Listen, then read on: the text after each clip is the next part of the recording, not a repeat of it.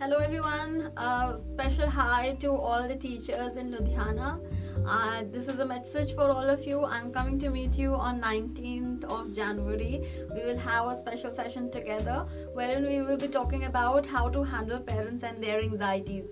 So you all are trained in handling anxieties of children but uh, i think this is going to be a very special session wherein we'll be talking about what kind of different cases can occur where parents are anxious and how can we support them in bringing their anxieties down uh, now there is one small task which i want all of you to do together which is kindly list down all the all sort of queries which you must have got from your parents and somehow you feel that you have not been able to uh, give them a correct answer or maybe it, uh, there can be a better answer right? So together when we sit together on 19th we are going to uh, do some case studies and we will to, together we will work and conclude uh, this entire process of parent handling i want all my teachers to become parenting experts along with me. So all the best. Uh, do this little task for me and see you soon on 19th happy Lohri everyone